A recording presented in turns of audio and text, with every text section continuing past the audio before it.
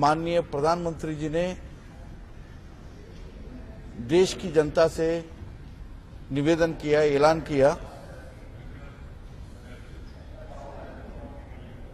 Digital economy ये एक way of life होना चाहिए, एक जीवन शैली बनना चाहिए। तब ये इफ़ेक्टिव होगा ट्रांसपेरेंट होगा और गरीब जनता को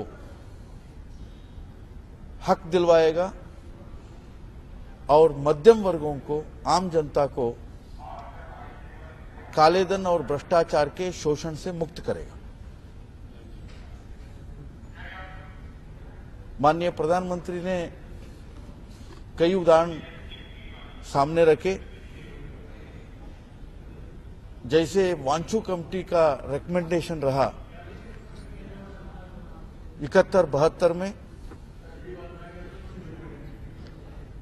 क्योंकि आज दिसंबर 16 तारीख, ये बंगला विमोचन का दिवस है। 1971 और बंगला विमोचन के समय तब के विपक्ष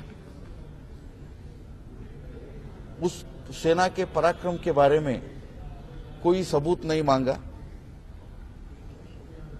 लेकिन आज के दिन में इतना गिरावट आ चुकी है।